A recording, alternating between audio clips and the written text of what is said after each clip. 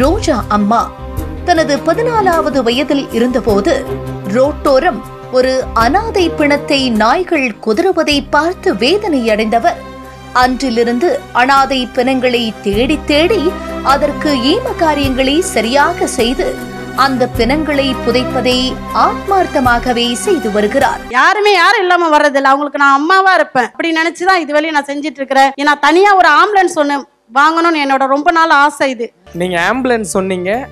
Ambulance எங்க எங்க company சார்பா நாங்க வாங்கி கொடுத்துட்றோம்.